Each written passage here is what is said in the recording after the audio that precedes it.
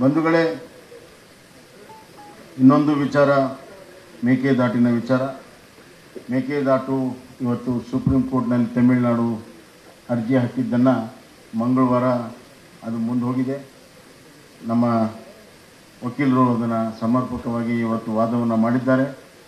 ಮುಂದಿನ ಮಂಗಳವಾರ ಅದು ಅಂತಿಮ ಹಿಯರಿಂಗ್ ಆಗುವಂಥ ಅವಕಾಶಗಳಿದೆ. ಅದಾದ ನಂತರ ನಾವು ನಾವು ನಮ್ಮ ಡಿ ಪಿ ಆರ್ಗೆ ಅನುಮೋದನೆ ಸಿಕ್ಕ ತಕ್ಷಣವೇ ಆ ಮುಂದಿನ ಎಲ್ಲ ಕಾರ್ಯಕ್ರಮಗಳನ್ನು ನಾವು ಪ್ರಾರಂಭ ಮಾಡ್ತೇವೆ.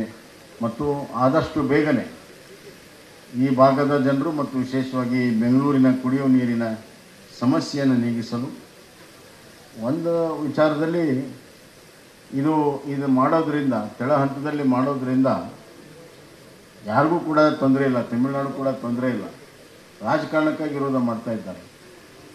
ಡಿಸ್ಟ್ರೆಸ್ ಇಯರಲ್ಲಿ ಯಾವತ್ತು ನಮಗೆ ಕೊರತೆ ಆಗುತ್ತೆ. ಆ ವರ್ಷದಲ್ಲಿ ಆ ಹಿಡಿದಿಟ್ಟ ನೀರನ್ನು ಎರಡೂ ರಾಜ್ಯಗಳು ಕೂಡ ಬಳಕೆ ಮಾಡ್ಬೋದು.